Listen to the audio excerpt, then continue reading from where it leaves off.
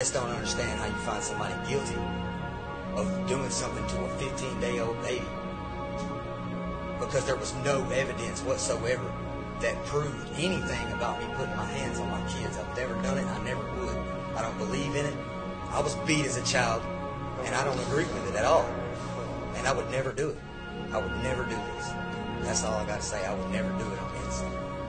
Well, I can make a lot of comments on what you said. I can make a lot of comments on the trial, but I know that was just be arguing with you or talking with you. I'll ask you one simple question. You claim you're innocent, so you tell me what sentence the man or woman that you claim did this should receive. If you ever find out who did it, they deserve to be under the jail. Okay. So they ought to get the maximum sentence. Most definitely. Okay.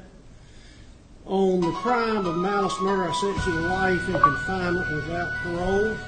With the sin of death of another, I sentence you to 10 years in confinement consecutive